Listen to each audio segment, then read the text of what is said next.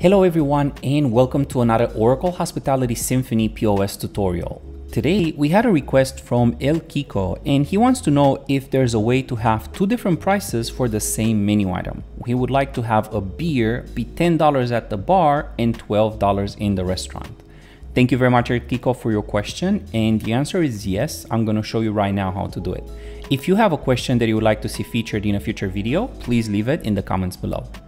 The first thing that I'm gonna do is expand my enterprise. So here under the default system view, we have the top level is our enterprise level, then we have our property, and these are revenue centers or RVCs for short. So I'm gonna select the first revenue center, which is the restaurant, and under the configuration tab, I'm gonna open menu item maintenance. After we open menu item maintenance, we have to click a quick search in order to populate the menu item database. And what I'm gonna do is I'm gonna look for my beers. So to do that, you can either use Control F on your keyboard to pop up this find window or just click the little binoculars here at the top.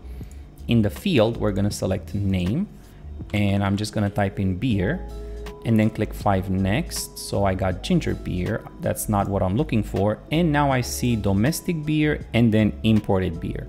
And I'm in the general area where I need to be. So each menu item has three different sections. We have the master record, where we have our major group and family group responsible for reporting.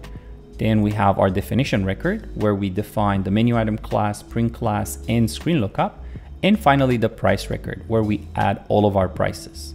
Now, as you can see, these menu items are gray right now, and it says they are inherited. If I try to change a price here, I won't be able to if I click in it because it is inherited from the enterprise. So the way we're gonna change a price at a lower level is by creating an override. Now, I do not need to create an override for the master record or the definition record. So I'm only gonna create an override for the price record.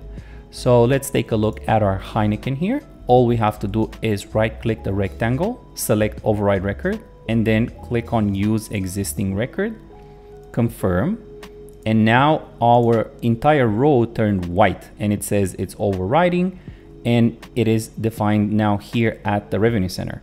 So what I have to do because I am in the restaurant, change this price to $12 and then save. Next, I'm gonna go back to the home page and do the exact same at the bar, just I'm gonna set the price at $10. So I'm gonna click find again, look for my beer, go to Heineken. And remember go to the price records. Do not override the master record because we don't need to. Right click override use existing record. And we are going to set this one at $10 and go ahead and save. Now the way this is going to work now this Heineken will always be $10 because we defined it here at the revenue center level even if you change the price at a higher level at the enterprise, this price will not change because this override will prevent it. If in the future you would like to remove your override, the way you remove it is a bit counterintuitive, but basically what we want to do is actually delete it. And the reason why we delete this is because the override mechanism works in kind of a different way, I guess. When we override, what it does is create a copy of that same record now that is just on top of the original one. So the original one is still underneath it there in programming. So in order to reveal it, we delete this new one that we've created.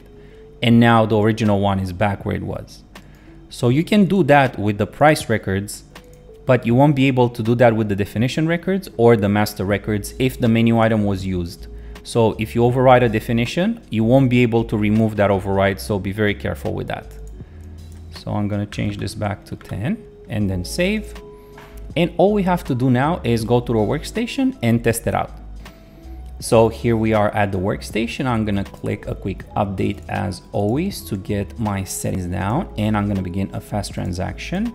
And right now we are in the restaurant. So we're gonna go to our drinks, select beer, go to our imported beer and click Heineken. So the price is $12 as expected.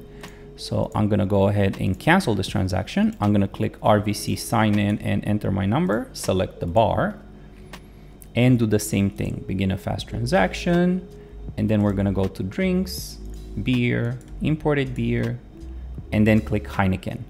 And now our Heineken is $10 as we needed it to.